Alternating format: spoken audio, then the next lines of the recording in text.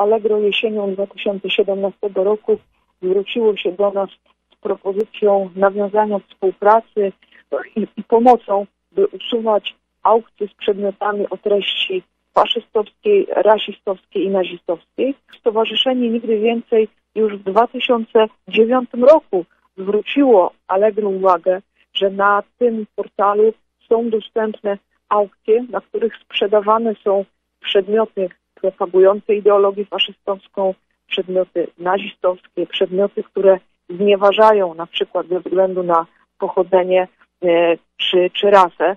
Allegro początkowo nie było skłonne do tego, by tę współpracę nawiązać, reagowało raczej obojętnością.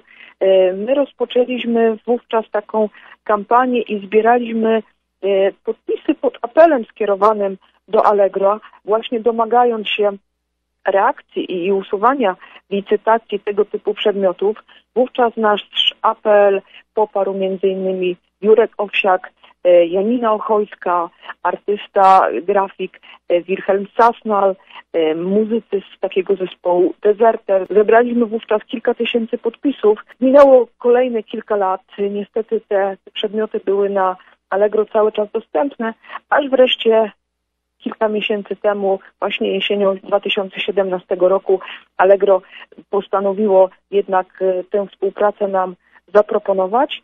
No i po pilotażowym okresie trzech miesięcy, czyli licząc od marca, mm, od 21 marca aż do dzisiaj, udało się nam usunąć e, ponad tysiąc aukcji z tego rodzaju przedmiotami. 21 e, marca to, to Międzynarodowy Dzień Walki z Dyskryminacją Rasową, obchodzony na początku, na, na pamiątkę tragicznych wydarzeń, do których doszło w Republice Południowej Afryki, e, gdzie, gdzie zostało no, po prostu zastrzeleni uczestnicy pokojowej manifestacji protestujący przeciwko apartheidowi. I po tych, po tych trzech miesiącach współdziałania z Allegro myślę, że no, możemy, możemy być zadowoleni z pierwszych rezultatów tego, e, tego współdziałania zmniejszyła się dostępność tego typu przedmiotów, ale oczywiście jest jeszcze dużo w tej materii do zrobienia. Ale skoro Państwo y, doprowadzaliście do usuwania, ja przypomnę, ponad tysiąc aukcji współcześnie produkowanych przedmiotów o treści faszystowskiej, rasistowskiej, antysemickiej. To nie chodzi o zabytki historii, o jakieś autentyczne, na przykład z czasów II wojny światowej czy z lat 30. hitlerowskie akcesoria. Y, usunęli, doprowadziliście Państwo do usunięcia ponad tysiąca tego typu aukcji. Czyli musi być jakieś prawo, które pozwalało Państwu te usunięcia przeprowadzać. Podstawą do usunięcia wszystkich tych aukcji no, stanowił wewnętrzny regulamin Allegro, dokładnie załącznik numer jeden do regulaminu, no i przepisy kodeksu karnego. Z tym, że no, my przysyłaliśmy do Allegro te linki z taką sugestią, że według nas te aukcje powinny zniknąć z ich portalu, natomiast mhm. no, tutaj suwerenna decyzja należała do, do platformy Allegro. Mhm. W ogromnej większości przypadków prawie wszystkie wskazane przez nas aukcje zostały usunięte. W większości y, sprzedawcami byli Polacy i nie zawsze ten adres y, jest widoczny dla osoby, która tylko ogląda dany przedmiot, a jeszcze go nie kupuje, ale te na przykład nazwy firm, bo to całe firmy to sprzedawały, y, adresy, które tam widniały, to, to były zdecydowanie w większości adresy polskie. Czyli ktoś takie rzeczy produkuje, daje na aukcje internetowe, żeby je sprzedać. Z drugiej strony są ludzie, którzy to kupują. Ile osób ogląda daną aukcję, takiej informacji nie mamy. Natomiast sądząc po, po liczbie tych przedmiotów, no ich było i ciągle jest bardzo wiele. Co zostało usunięte w największej liczbie, to przede wszystkim takie, takie rzeczy jak repliki albo imitacje odznaczeń nazistowskich. Ponad 640 takich aukcji. Kasety i płyty z muzyką faszystowską. Ponad 230 tego rodzaju licytacji.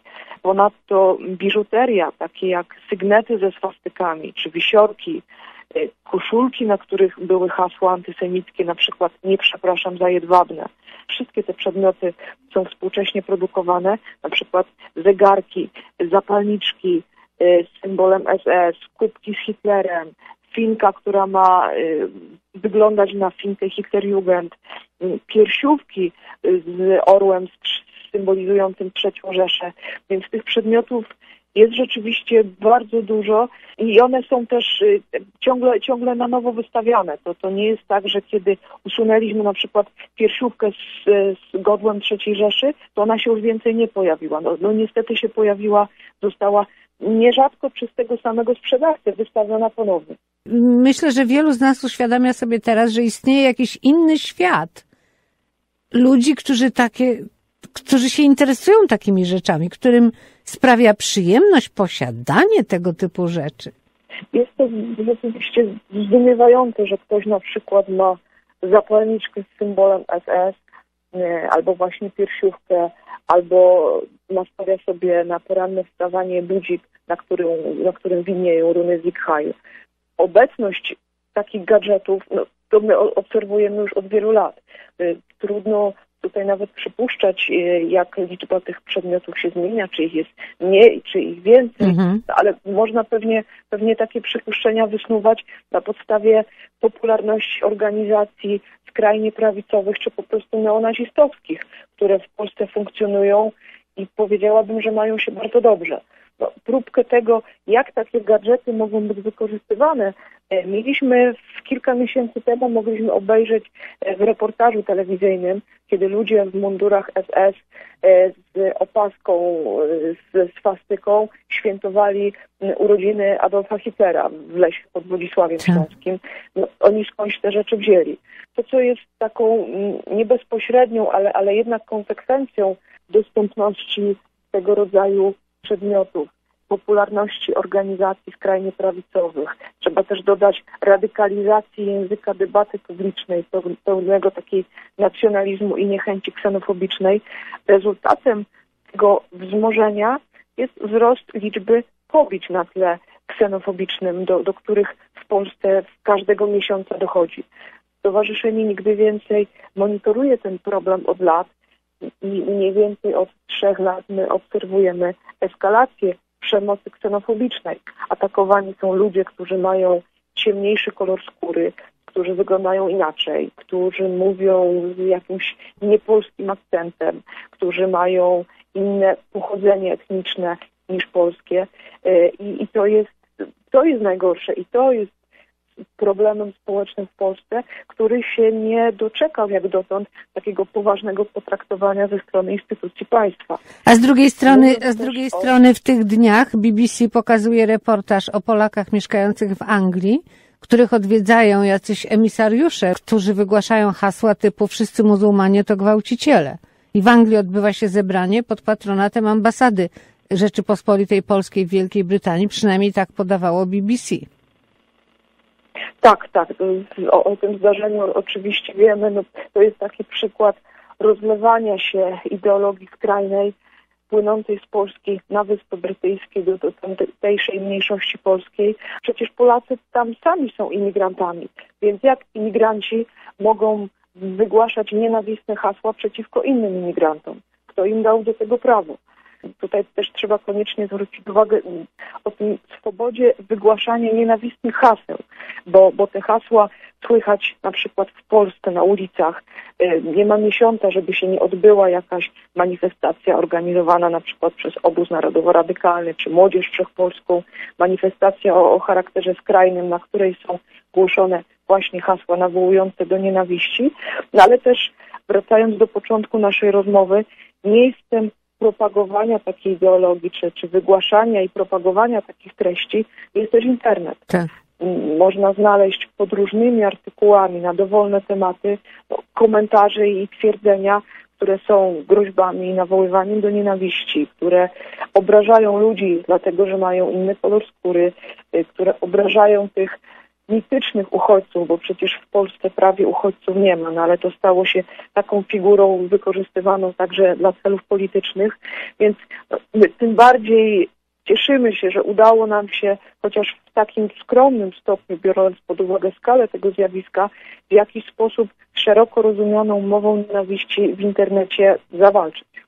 Oczywiście i tutaj też musimy sobie zdawać sprawę z tego, że przynajmniej część pewno tych, którzy oferują tego typu wyroby na Allegro, to są właśnie ci, którzy obserwując narastanie tych tendencji i rozwój tych grup neofaszystowskich czy faszyzujących, znaleźli po prostu sobie rynek i odbiorcę, prawda? I próbują na tym, na tym zarobić, bo nie wszyscy, przypuszczam, którzy wystawiają tego typu przedmioty, robią to ze względów ideologicznych. Ale tutaj, wie pani, y, rodzi się oczywiste pytanie. W Polsce, która była tak strasznie doświadczona przez y, hitlerowców, hitlerowców, przez Niemców, przez II wojnę światową, przez faszyzm, to się wydaje po prostu no, niemoż, aż nie, niemożliwe, że do czegoś takiego może dochodzić, że są ludzie, którym, tak jak pani powiedziała, y, na budziku rano jakieś tam hitlerowskie kuranty powiedzmy śpiewają, prawda? No tak, jak widać historia nie uczy niczego. Być Tak. może jest to związane z tym, że już nie mamy właściwie takiej żywej pamięci II wojny światowej. No, pokolenie naszych dziadków już powoli odchodzi. Ta, ta pamięć w rodzinach jeszcze funkcjonuje, ale, ale jak widać w stopniu niedostatecznym.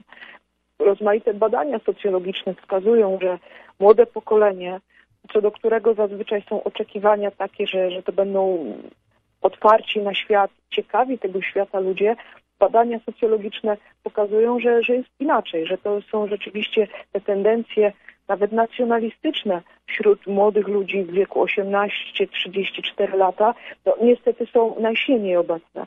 I Mhm. to też pokazuje, że zawiodła edukacja. Znowu szeroko rozumiana, ale Tak. no, niewątpliwie wchodzi teraz w dorosłość, czy już weszło w dorosłość pokolenie ludzi, którzy mogą swobodnie podróżować, którzy kontakt z taką innością również mają, no, choćby poprzez internet, nie, tylko podróże, a, a jednocześnie narastanie uprzedzeń, przyjmowanie takiej czarno-białej wizji oferowanej przez organizacje radykalne jest y, popularne. Możemy się tylko pocieszać, że nie tylko w Polsce, prawda? Tym niemniej to, co jakoś Polskę wyróżnia, to jest niedostateczna reakcja instytucji, to jest marginalizowanie tego problemu, to, to jest niedostrzeganie, że napaści ksenofobicznych, napaści rasistowskich jest zbyt wiele. Że państwo jakby przyzwala, tak? No, W Polsce ponad 80 postępowań prokuratorskich dotyczących przestępstw nienawiści jest umarzanych. Tylko mniej więcej 80%, 20 tak? Tak, tylko mniej więcej 20% ludzi oskarżonych o popełnienie przestępstw nienawiści trafia w ogóle przed oblicze sądu. Ponad 80% postępowań e, no, prokuratura umarza. E, Ale ja myślę, że, że w tej reakcji takiej instytucjonalnej bardzo też e, brakuje tego, co, co wydawałoby się oczywiste, co myślę, że w Europie Zachodniej jest pewnym standardem, mianowicie potępienia takich zdarzeń przez, przez wysokich urzędników państwowych, przez y, Aha. polityków, przez posłów, przez prezydentów y, miast. Oczywiście takie głosy też są i nasi prezydenci czy burmistrzowie na przykład spotykali się z osobami poszkodowanymi, odwiedzali muzułmanów, którym wybito szyby w lokalu i im napisano jakieś islamofobiczne napisy na ścianach. Takie gesty rzecz jasna mają miejsce, ale ciągle jest ich zbyt wiele. Ja myślę, że ciągle Za mało. są mało Mhm. słyszalne. Tak. To, to potępienie przez, przez ludzi reprezentujących władzę wydawałoby się jest, jest szalenie potrzebne, powinno być naturalne, a tak, tak się nie dzieje. Raczej towarzyszy takim zdarzeniom nierzadko gest zaprzeczenia i, i nazywania tego, co się dzieje marginesem. Tak, albo, albo bagatelizowanie, tak jakby nie zdają sobie y, y, na przykład politycy sprawy z tego, bo takim jest wygodniej. Jakie to jest niebezpieczeństwo? Przecież były też takie komentarze po tym incydencie, o którym pani mówiła, te urodziny Hitlera w lesie, prawda? Że co, tam zebrała się garstka gówniarzy i poszaleli. To, to tak nie jest. To nie jest. Bardzo łatwo to się może wymknąć spod kontroli i, i stać się naprawdę niebezpieczne, prawda? Przedstawiciele różnych mniejszości w Polsce, ludzie, którzy tu żyją od dawna, ale którzy się akurat w Polsce nie urodzili, no, słychać zewsząd ich, ich wypowiedzi, że przestają, czy już przestali czuć się bezpiecznie, że, że Polska była ich domem, natomiast y, sporo głosów właśnie słychać, że, że ci ludzie są na przykład kobiety w chustach muzułmańskich są opluwane, albo ktoś, y, Hindusi są coraz częściej atakowani i, i zresztą y, łączeni na przykład y, z tym, że, że są muzułmanami. często jest tak, że ktoś, kto ma ciemny kolor skóry i mamy Tak. w naszym monitoringu, którym odnotowujemy takie akty agresji, mamy takie sytuacje, kiedy wystarczył ciemny kolor skóry, żeby ktoś został uznany za uchodźcę, za muzułmanina, za terrorystę. No, no bo taki język dominował w debacie publicznej, taki język wylewał się z internetu, więc i stał się przyczyną napaści. Mimo, że dana osoba na przykład nie miała nic wspólnego z Syrią, a, a, a była Hindusem. No gdyby nawet był Syryjczykiem, to nie znaczy, że należy go na ulicy w polskim mieście pobić. No oczywiście, Syryjczycy też byli atakowani w 2015, kiedy zaczęło się to wszystko w listopadzie, było takie głośne i bardzo dobrze, bo, bo prasa o tym szeroko pisała pobicie Syryjczyka w Poznaniu. Jego wówczas od, odwiedził właśnie prezydent miasta, odwiedził go arcybiskup, odwiedził go patriarcha Sylwii, y, Sy, Syrii, więc to był przykład takiej dobrej reakcji na, na strasznie przykre zdarzenie, no ale, ale właśnie no, to był jednak swego rodzaju wyjątek. Wychowaliśmy się w przekonaniu, że Polska jest krajem tolerancyjnym, że Polacy zawsze na wszystkich frontach walczyli za wolność naszą i waszą. I tak myśmy się wychowali, a nasze dzieci, nasze wnuczęta, które są w tej chwili osobami dorosłymi, chyba wychowaliśmy źle, skoro, skoro zachowują się tak, jak się zachowują. Pani doktor, ja pani serdecznie dziękuję. Bardzo dziękuję Przypominam Państwu, ze Stowarzyszenia Nigdy Więcej była z nami pani doktor Anna Tatar.